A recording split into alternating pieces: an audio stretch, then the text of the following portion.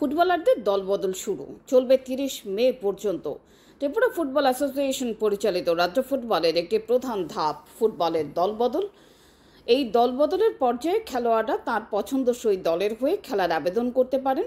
এই দলবদলের কাজ Tripura football association তিরিশ মে পর্যন্ত চলবে।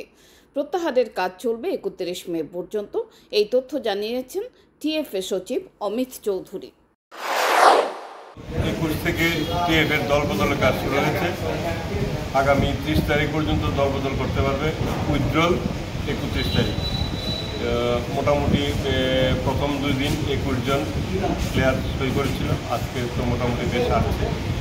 আমরা দেখছি যাতে সবাই সুন্দরভাবে করতে পারে। তার জন্য সময় বাড়িয়ে দিয়েছি দুটো থেকে। সন্ধ্যা সাতটা পর্যন্ত করে দিয়েছি। Channel Din Raat.